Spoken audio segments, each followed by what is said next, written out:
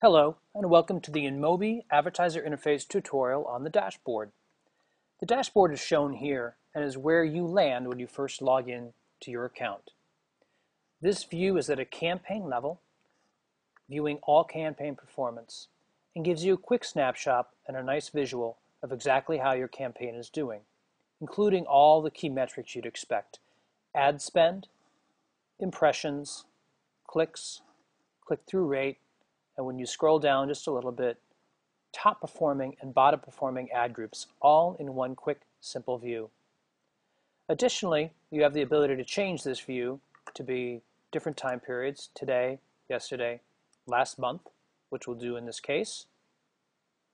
And the dashboard changes quickly to give you a view over the past month, including the total ad spend over the past month with peaks and valleys in your performance, impressions, clicks, click-through rate, and again, your top performing and bottom performing ad groups.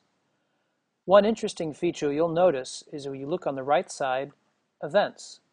Here you have events that are tracked, key changes you made to the campaign, and tied to a date. This allows you to quickly look at an event and tie it to changes in performance.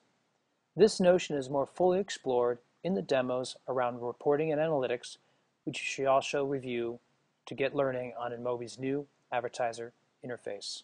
Thank you.